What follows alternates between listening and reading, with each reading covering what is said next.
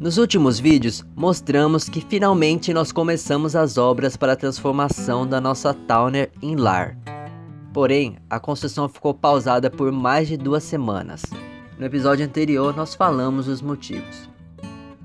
Nesse meio tempo, tivemos a oportunidade de conhecer o Richard e a Lana do canal Vida de Mochila. Eles vieram para produzir uma sequência de vídeos percorrendo uma boa parte do nosso querido sertão. Aqui, ó. Salve família! Morando livre, agora diretamente aqui de Aracaju. Foi uma honra trocar tanta experiência e aprendizado. Richard foi uma das principais inspirações pra mim, acho que pra Brendinha também. Esperamos que os caminhos das estradas nos cruzem novamente.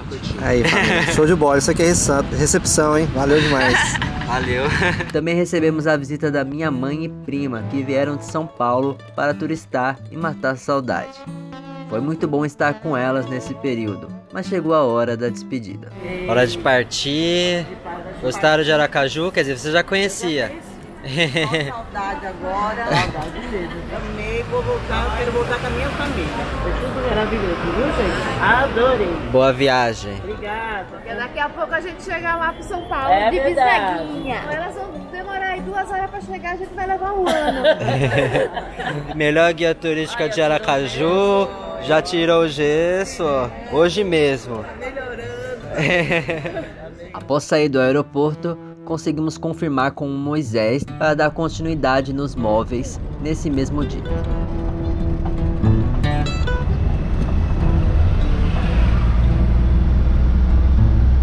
Você tá fazendo o que aí?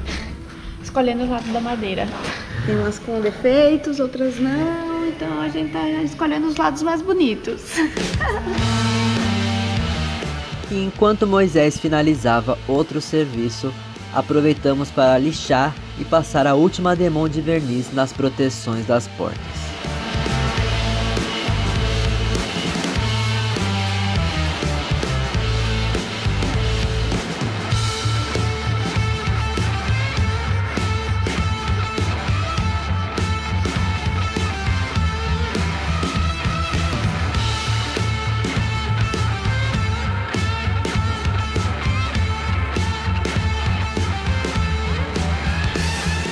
Bruninho dando início aqui à, construção. Estamos fazendo o corte da, do armário lateral.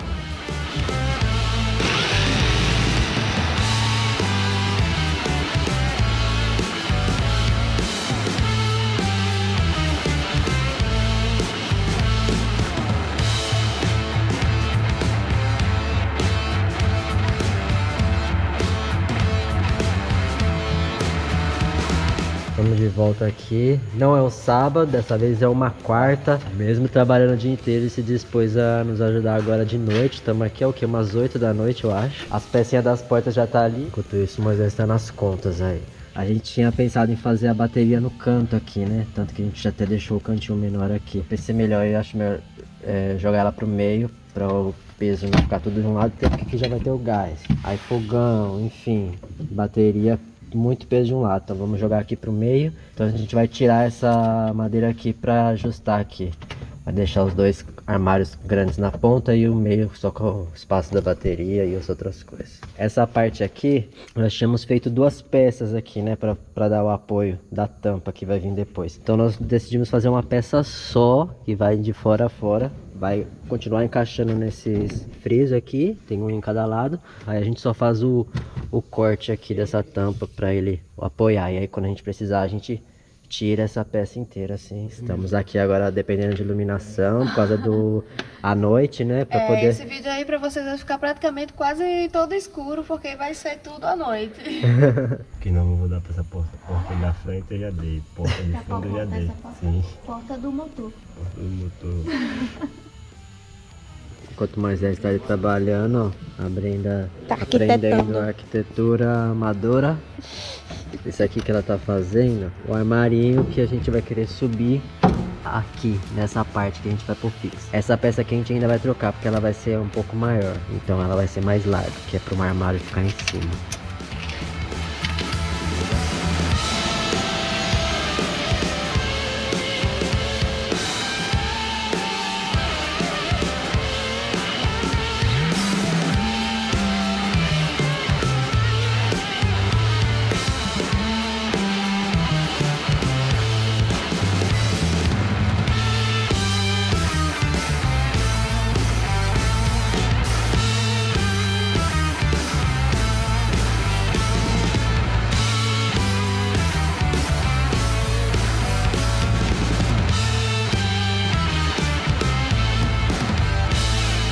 Seguimos aqui, 10 horas da noite.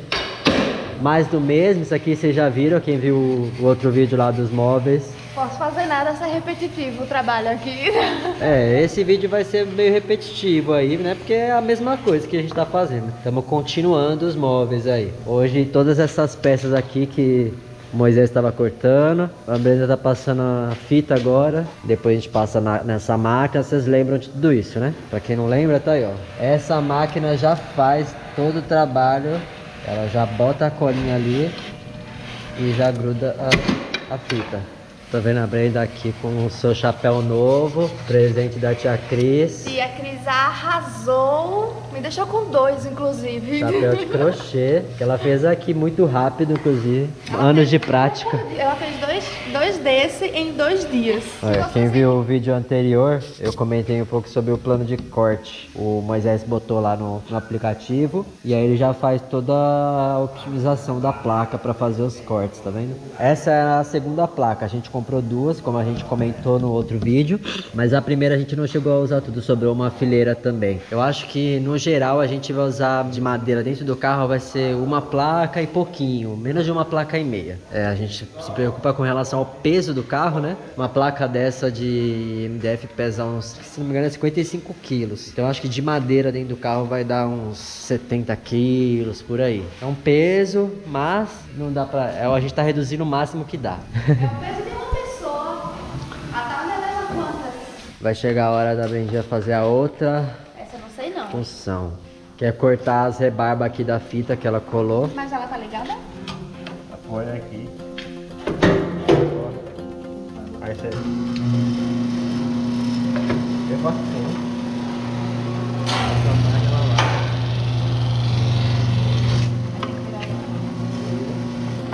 E aí, tá gostando de usar essa máquina? Sim. Por quê? Técnica.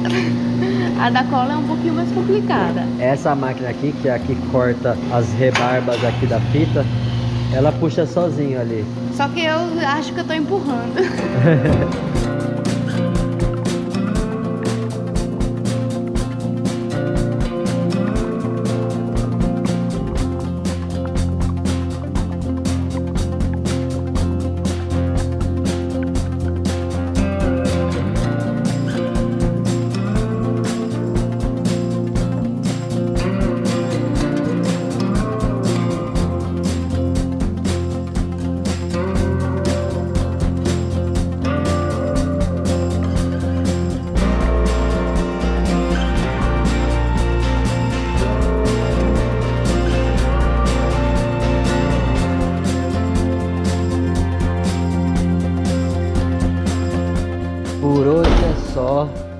Coitada.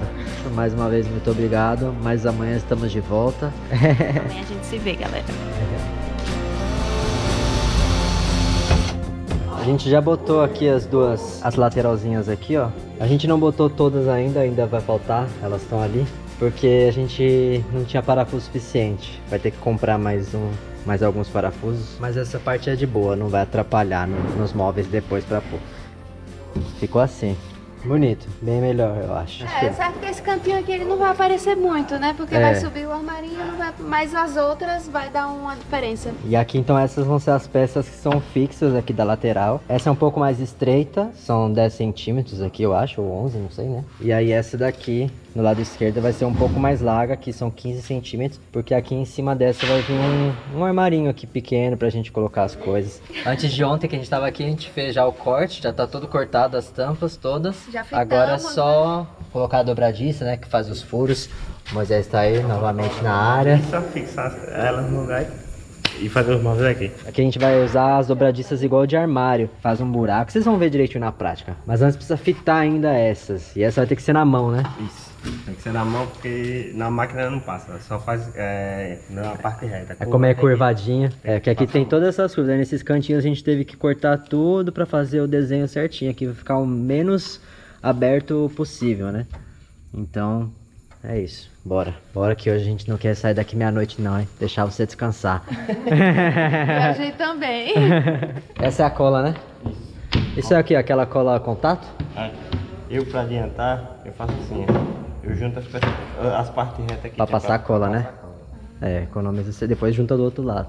Eu vou furar. Isso aqui que a gente tá fazendo é um, um estágio de marcenaria. É, Passa, mela limpa, mela limpa, mela limpa, mela limpa. Porque isso aqui tá na pontinha. Esse que passa aqui não tem problema que sai contínuo, né? Na, na- até na fita É pra sai. fazer, é pra fazer fino, é? Essa, essa camada? É bom pra não ficar marcado na fita. Aí fa- passa duas aqui e uma na fita. Vamos ver se eu aprendi. Cadê um pouco? Vamos lá. Hum. Nela. Não sei como é mais. Vou passar do jeito que eu sei. Não tenho seu talento não.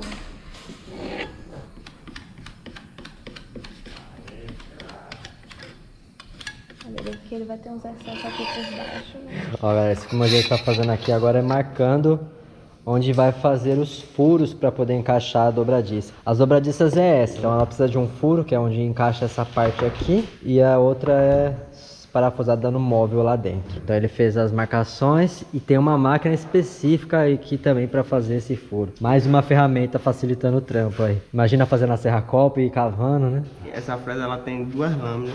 Aí ela vai cavando e fazendo um buraco. Sim. Pra sem precisar fazer o que você falou. Isso aqui já facilita tudo. Ó, botei aqui, essas são as tampas aqui, ó. Então a ideia aqui é que todas ab- abram assim, ó. Enquanto isso, a Brendinha tá aqui, ó, passando a cola de contato na fita. Já foi passado ali na, nas madeiras. Essa aqui é uma só, né? Essa é uma só. né?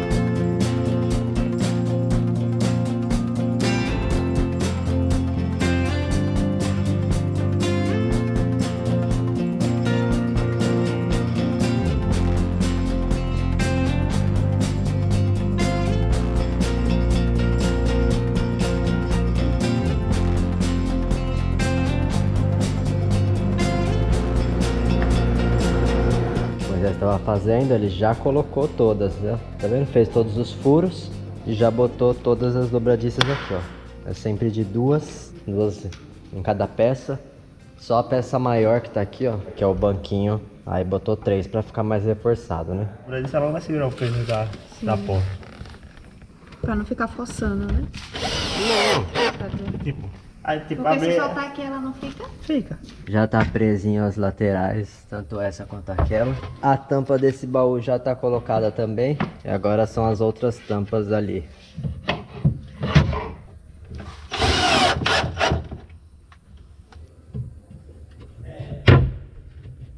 Não, ficou bem. Ai, minha mamãe. Poxa, ficou gostoso demais. Ele já numerou pra não se perder. Aqui tem a 2, aqui tem a 3.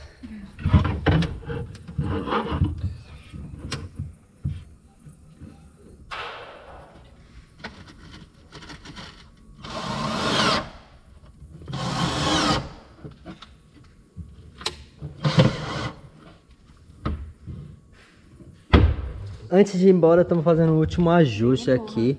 Aquele banco ali, o do carona, quando a gente põe ele para trás, ele tá, ele pega na tampa e aí ele meio que força esse móvel aqui. E aí aos poucos ele vai acabar forçando, é, frouxando os parafusos ali, né?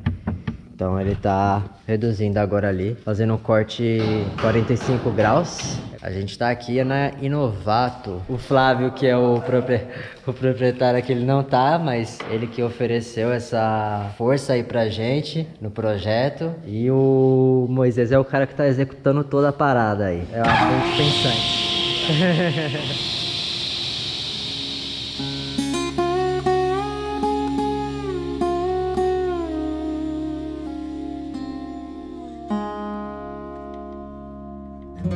Deu certo aqui. Prender a, de volta aqui as, as dobradiças.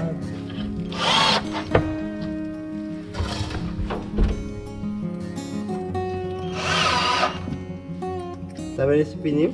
Ele tem que entrar nessa gretinha aqui. Certo. Aí você coloca. Entrando nessa gretinha e entra no parafuso. Ah, entrar nos dois. Uhum.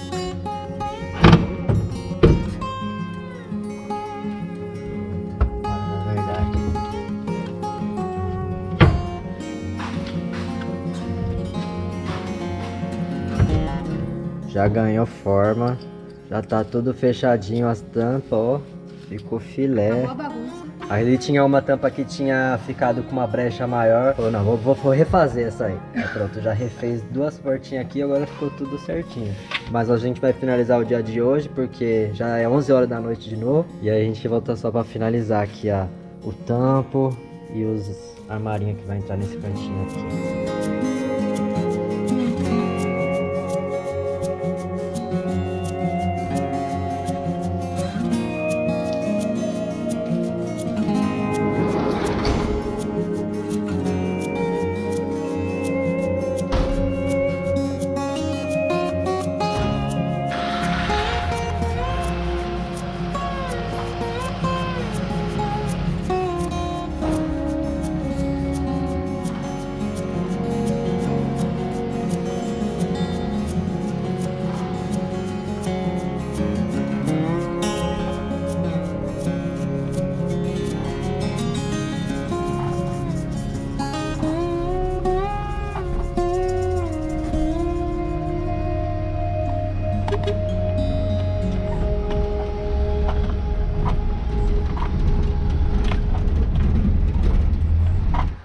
Novo dia por aqui, ó.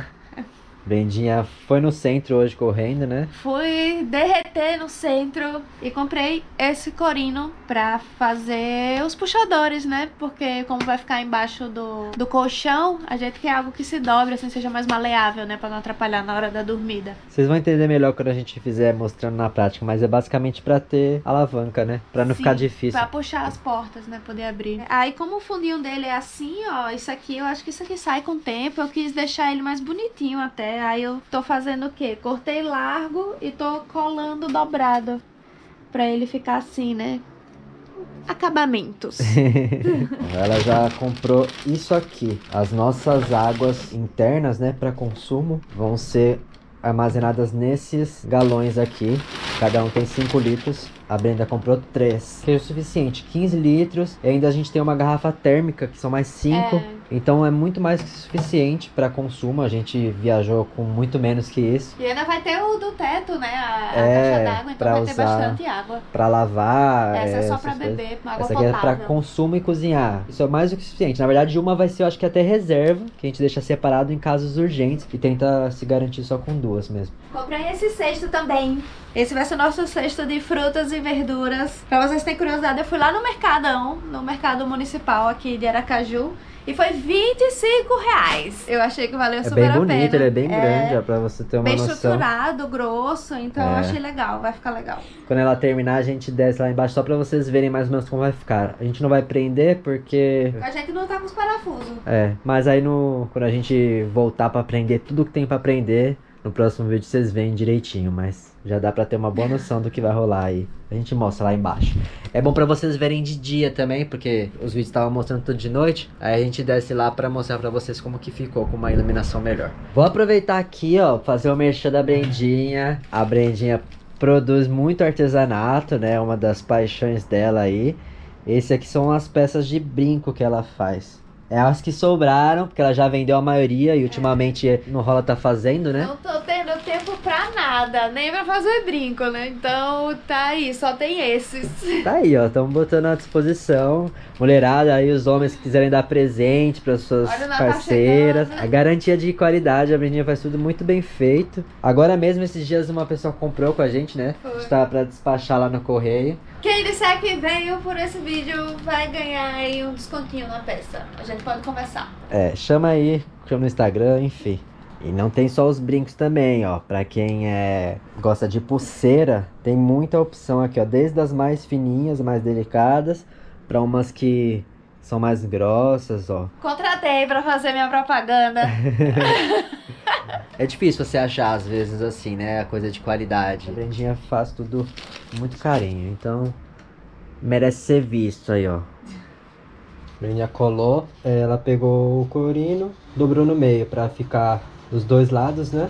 Ela usou cola de contato aqui. E aí agora a gente desce lá e mostra na prática com que nós pretendemos prender.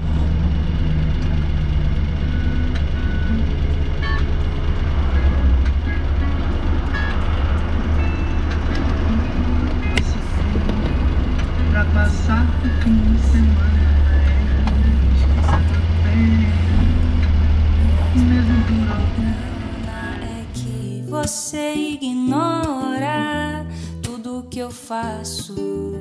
Depois vai embora, desatando os nossos laços. Quero te encontrar, quero te amar. Você pra mim é tudo. Minha terra, meu céu, meu mar. Quero te encontrar. Quero te amar, você pra mim é tudo. Minha terra, meu céu, meu mar. É muita ousadia ter que percorrer o país inteiro pra achar você. Mas tudo que eu faço tem um bom motivo. Linda, eu te amo, vem ficar comigo. Alucinado com o seu olhar. Vou aonde for até te encontrar. Eu te amo demais, você é minha paz. Faz amor gostoso de novo comigo, faz. Faz.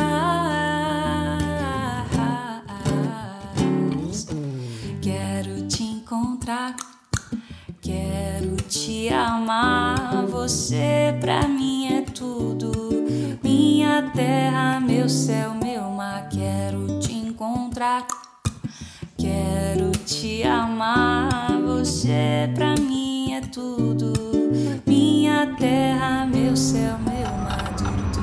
Resolvemos sair de casa, aproveitar para mostrar aqui um pouquinho para vocês. A gente viu que hoje é dia da lua cheia. Não só isso, parece que hoje é dia de eclipse lunar também. Pelo que eu pesquisei e vi na internet, parece que aqui de, do Sergipe dá pra ver eclipse parcial. Vamos ver se a gente vê alguma coisa, né? E assim ficou até agora. Cada um com uma tampa individual. Aqui tem uma. A da bateria e o outro armário. E aqui tá o baúzão, ó. Aí ele pra abrir a gente precisa tirar os bancos. Abriu aqui. Aqui está o baú. Já tem algumas coisas aí. e é isso. Fechou aqui. Já tem até disposição para os novos vasos d'água. A Ah, ficou do vai- tamanho até bom, né? Enfim, vamos organizar isso direito aí. Vai ter que ser na. É sempre assim, né? Depois que sai, vai mudando, vai ajeitando. O que ficou faltando pra gente voltar e fazer? Fazer a prateleira aqui do fogão, que vai ficar aqui. E fazer a madeira que- que vai ficar aqui, ó. Que vai ser a responsável por fechar e completar a cama. né? Então todo o espaço vai ficar cama. E essa mesma madeira que vai estar aqui como cama, ela vai levantar pra gente usar de apoio para uma mesa. A Brendinha trouxe o- os corinos, todos estão aqui. Gente até testar, né? Se tá numa largura boa, senão qualquer coisa a gente corta.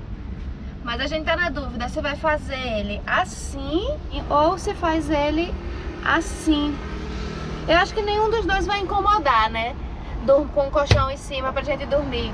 É mais questão de estética e gosto mesmo, né? Que eu acho que vai Votem ser mais... aí. O que vocês acham? Eu acho que vai ser mais confortável Ó, assim. esse de aqui ele vai ficar abertinho, então é você confortável, encaixa a né? mão aqui pra puxar e o outro, mostra aí. O outro vai ficar assim, então pra você puxar você vem com um dedo aqui e puxa. Votem aí, qual ganhar mais votos a gente faz. A- acreditamos que no próximo vídeo, na próxima volta lá a gente já fecha tudo. Então pra fazer o armarinho que vai vir aqui. Tudo de marcenaria, né? A gente já pretende É. acabar. Porque ainda do- falta outras partes, né? Elétrica, hidráulica, espumas, enfim. A parte de imóveis pelo menos já tá, vamos Acho que dizer a parte aí, mais, mais. 85% concluída. Eu acho que a parte mais demorada, né? Que é essa parte da, da marcenaria. Então vai ser um ufa, acabou. Não se esquece de se inscrever, é novo aí. Olha os episódios anteriores. A gente tá vendo aí que tem muita gente assistindo que não tá inscrito. Então, galera, se inscreva aí, ajuda a gente. Nos vemos no próximo vídeo Um cheiro pra vocês. e Tchau!